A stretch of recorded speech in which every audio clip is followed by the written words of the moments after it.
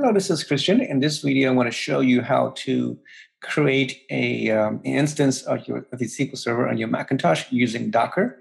And then I'll show you also how to connect to that SQL Server using a program called uh, SQL Operations Studio.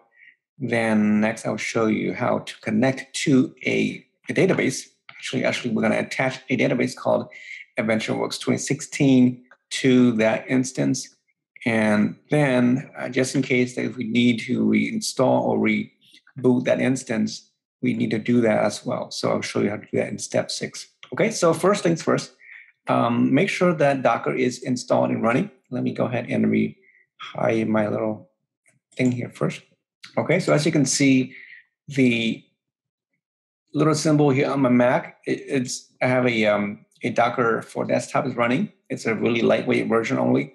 Uh, so it's it's running here right now. You can also check your terminal, make sure it's running by clicking the terminal. And in here, just type docker dash v to show you the version it's working or not. Okay. Um, and then if you want to check if you have any instances running, type in docker space ps, and it will list all the instances right at this point. As you can see, I don't have anything here, so it's blank. Um, if you want to see all the previous versions or um, containers, you can do ps and then dash a for all, and it should list all here as well. I pretty much, you know, removed everything, so I started from fresh, very clean, so you can see that there's nothing here. Okay, so the first thing we need to do is we need to create this instance, and this is how you do it. So I put a note here. You only do this once, unless you you know want to create multiple versions or multiple instances of SQL Server, then you do that. Because each time you create, uh, Docker will create a unique container ID for that instance. And that instance or that ID will exist there until you delete Docker or until you remove them uh, and so forth. Okay, so I'll show you how and where they what those are. So first, I'm going to copy this line. It's a really long line of code uh, to run. So just copy that, and we're going to paste it into the terminal here. Okay, I'm going to just paste right in here. And just make sure that this is a single line, okay, single statement. If you if it's not, it may not work. So, okay, so just hit enter. And then you see it's really quick. So that's done. And now if we go back and we type in docker ps, you will see that now that container is being created. It's a really long uh, list. So you can see that the line actually wraps here. Uh, I can't, you know, see everything here. But the very first thing you see here is the container ID. Okay, so this ID here is referring to this ID right here. It's a, I don't know how many characters, but it's quite long. So that ID is, is created and at the port number here and so on. Okay, so if you want to create it again, for example, I can go up again and I just create again, you know, um, let me go and see if it, if it lets me or not, I'm not sure. Okay, so uh, it tells me that I'm using port 13433, so I can't I can't use it again, right? So you can only run one at the same time using the same port number unless you change it. But let me do something really quick here. Um, again, I'm going to show you um, Docker PS. So that's working for now. So we'll, we'll keep that for now. I'll, I'll do that afterwards. Okay, so that's good. And the status is up and running. Uh, it's up here, running. So now the next thing we need to do is go ahead and run the um, well, we can go ahead and download uh, the, the AdventureWorks first. That's on Blackboard. So if you go over here to Blackboard and uh, basically just go to the assignment one and download to your machine. Okay, so you go over here, uh, in here, enter the apply or, or to do. So I'm going to download this 2016, you know, .bak and if you just right click on it and um, save link as, or just click download, and it should download to your downloads folder. So in my example, I put it inside my downloads folder. You can see that I downloaded here. This is the one I'm, I'm going to need. Okay. So once that's been downloaded, we need to do the following. We need to go, let me go back to my notes. Okay, we need to copy this AdventureWorks to the Docker container because the Docker container is a virtual machine, right? so that you need to copy this database to that container. And we needed to copy to this location right here. Okay, so in a Docker, it will look something like that. And, um, and also you need to know the container ID, right? ID that this uh, Docker created for you. This ID right here is um, this ID right here. We need to replace this with that ID and basically copy that to their virtual machine.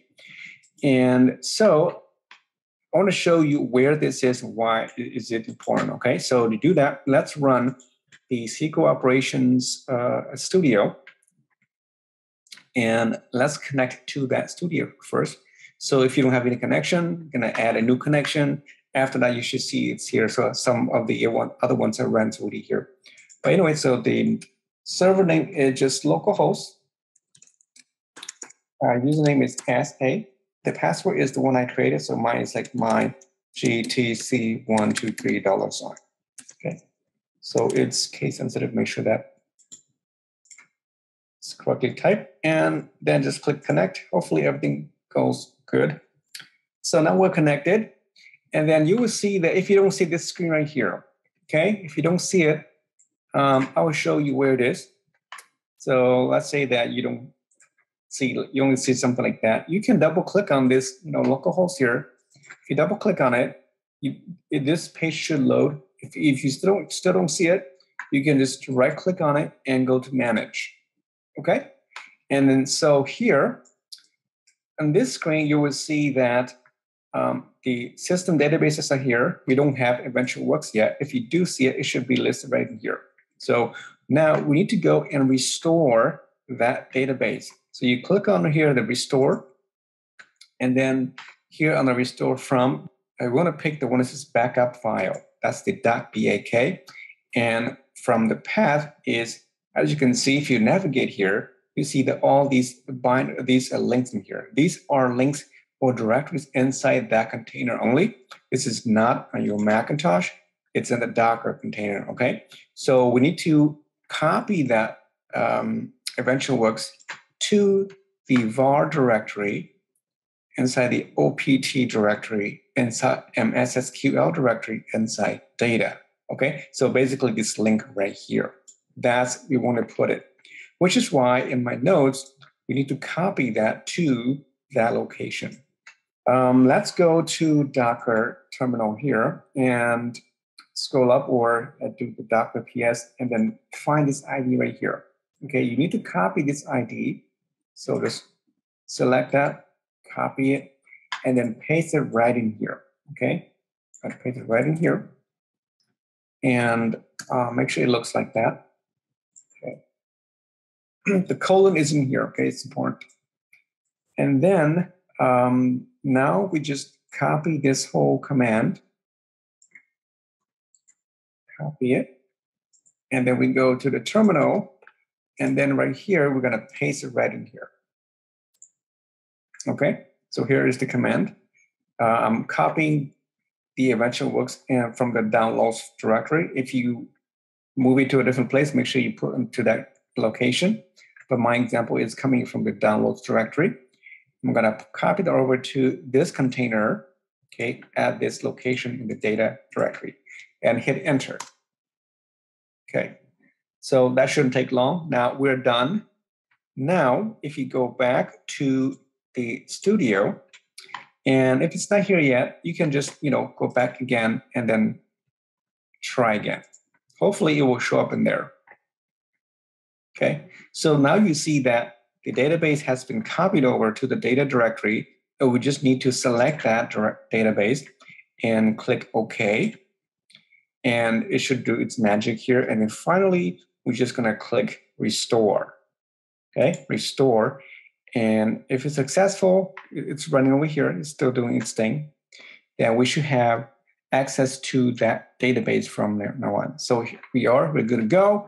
And if it's not shown here yet, you can try to reload or something. If it's not loaded here, you can close this screen here, exit out, and then just go to the um, server database here and you should now see AdventureWorks being installed attached to your database. So now we're good to go. All right. So now, let's say that I'm going to, you know, turn off my laptop. So once you turn off your laptop or your program, or if you turn off uh, Docker, if you quit Docker, for example, if I quit Docker, okay, um, once that's off, I'm going to turn on my terminal here as well. And then I'm going to go and rerun my um, Docker again. Uh, where I put it? I didn't put in the thing there. It's my applications. I should have put it. So here's the Docker Edge I used. I'm going to double click to run that again. And it's still doing it, still running. And so, well, that's uh, still booting. I'm going to go ahead and click the terminal. And um, see, is it done? Okay, that's good. So now if I type in Docker again, you see that now the instance is gone. It's not active anymore. And if you try to connect to that instance through the SQL Server, it's not going to be able to find it. So it's not going to work right. SQL Server is not there. It's trying to connect. It's going to fail, right? So here again, if I go and connect, it should not find it. So you have a connection error. Okay. So now if I type in docker ps-a, and you will see that I have instances created earlier. So this is the one that I created. Actually, there are two of them. Um, but the one that I created that we added the AdventureWorks to was this ID here. So you just have to remember which ID you use, okay, uh, to activate it. So right now it says it's exited. I mean, we quit that um, already, about 10 minutes ago or so it says. So I'm gonna go and restart this again. So you just have to remember this ID. So if you copy this ID here to memory, and then I'm going to go a um, do here Docker restart, and then paste in that ID. Okay, and hit enter. Now that Docker um, container should be active now. So here we go. It's active again, right? And then now I'm going to go back to SQL Server um, Studio over here and reconnect again. So you see that now I'm able, able to connect it back and my database is, everything here is still retained. Okay, so if you don't remember that ID or if you happen to delete it and it's gone, then you have to start the whole process again, you know, recreate a container and then copy that over again to this container um, and then connect it to your um, database system that way. So that's what you need to do in order to um, use AdventureWorks again. Thank you.